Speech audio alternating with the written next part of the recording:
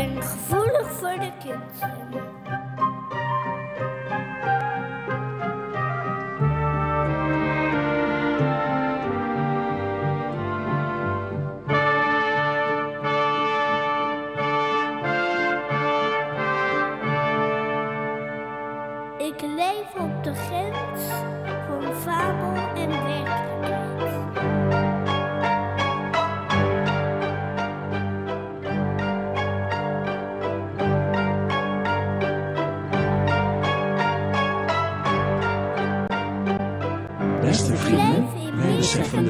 De die hij nu aan de woorden van zijn rol hecht en daarom. De dag, dag breekt aan, aan, wilde ik jullie mijn plan voorleggen. Zoals ik gisteravond beloofd heb. Waar jullie een fabel van de verwisselde zoon zou kunnen opvoeren. Vandaag wordt er met grote luister een huwelijk gesloten. Een reusachtige verbintenis tussen twee families. Laat ons zeggen, reuzen van het gebergte.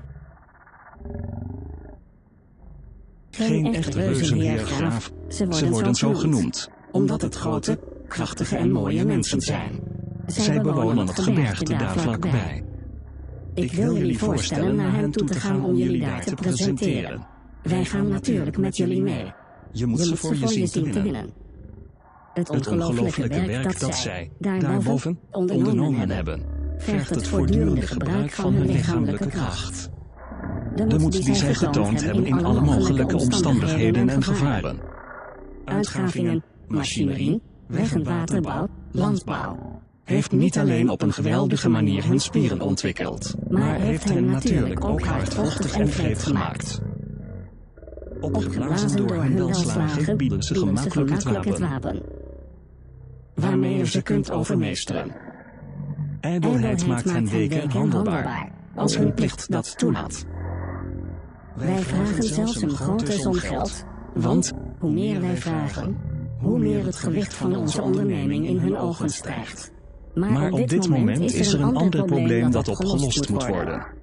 Hoe kunnen jullie de vaarwel en tonelen voeren? Hebben de reuzen daarboven dan geen theater? Het gaat niet om het theater, men brengt daar gauw genoeg een theater tot stand. Nee, ik denk aan het stuk dat jullie gaan opvoeren. Ik moet u zeggen, heer graaf, er het hoort toe om ons te verzekeren dat u alles hebt.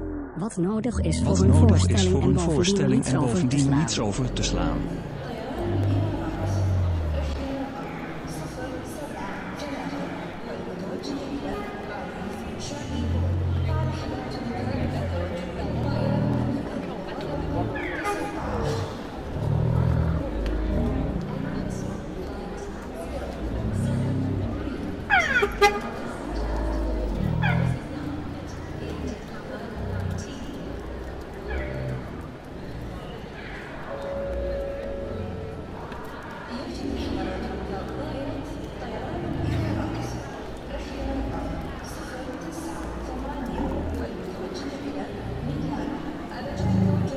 Beste vrienden, wij beseffen de betekenis die hij nu aan de woorden van zijn rol hecht en daarom.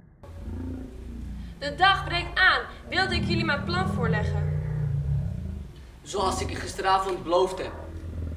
Waar jullie een fabel van de verwisselde zoon zouden kunnen opvoeren. Vandaag wordt er met grote luister een huwelijk gesloten. Een reusachtige verbintenis tussen twee families. Laat ons zeggen, reuzen van het gebergte.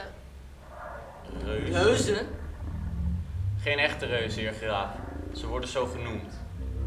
Omdat het grote, krachtige en mooie mensen zijn. Zij bewonen het gebergte daar vlakbij. Ik wil jullie voorstellen naar hen toe te gaan om jullie daar te presenteren. Wij gaan natuurlijk met jullie mee. Je moet ze voor je zien te winnen. Het ongelooflijke werk dat zij, daarboven, ondernomen hebben. Verg het voortdurende gebruik van het lichamelijke kracht. De moed die zij getoond hebben in alle mogelijke omstandigheden en gevaren. Uitgravingen, machinerie, weg- en waterbouw, landbouw. Heeft niet alleen op een geweldige manier hun spieren ontwikkeld, maar heeft hen natuurlijk ook hardvochtig en vreed gemaakt. Opgeblazen door hun welslagen, bieden ze gemakkelijk het wapen, waarmee je ze kunt overmeesteren. Ijdelheid maakt hen week en handelbaar, als hun plicht dat toelaat. Wij vragen zelfs een grote som geld. Want hoe meer wij vragen, Hoe meer het gewicht van onze onderneming in hun ogen stijgt. maar op dit ogenblik is er een ander probleem dat opgelost moet worden. Hoe kunnen jullie de fabel en tonelen voeren? Hebben de reuzen daarboven geen theater? Het gaat niet om het theater. Men brengt daar gauw genoeg een theater tot stand. Nee, ik denk aan het stuk dat jullie gaan opvoeren. Entrano di notte nelle case per la gola dei camini, come un fumo nero, una povera mamma che sa, dorme stanca della giornata, e quelle, chinate nel buio, allungano le dita sottili. Ze komen s'nachts in de huizen door de schoorstenen als rook zwart. Want de arme moeder slaapt vermoeid van de dag. En die in de nacht toen ik sliep hoorde ik geschrei naast me. Ik werd wakker, tastte in het duister op het bed mijn zijde. Het was er niet. Waar komt het geschrei vandaan? Zelfs in winkels kon mijn kind zich niet bewegen. De winkels nauw gespannen op hun beentjes, smetteloos. Dat is beetpak, met handen beetpak. Was zij van de moeder en uit wraak onder het bed gelegd. Alleen om haar te pesten. Toen ik het opnam. Wat huilde het?